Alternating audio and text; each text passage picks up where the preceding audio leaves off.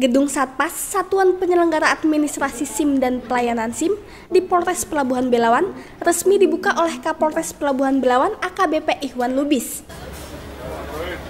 Acara peresmian ini ditandai dengan pemotongan pita oleh AKBP Ikhwan Lubis dengan didampingi oleh Ibu Ketua Bayangkari dan Ibu-Ibu Bayangkari.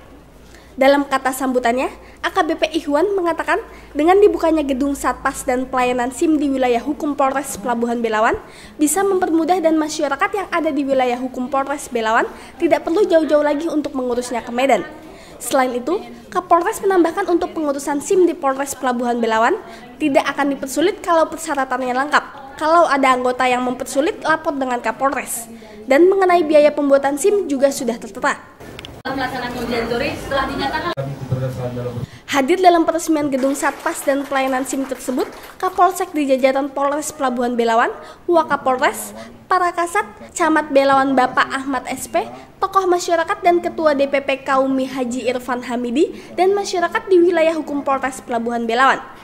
Dari Belawan, Sumatera Utara, tim liputan Tribrata TV, salam Tribrata. Kita buka launching pembuatan SIM di Polres Pelabuhan Belawan ini.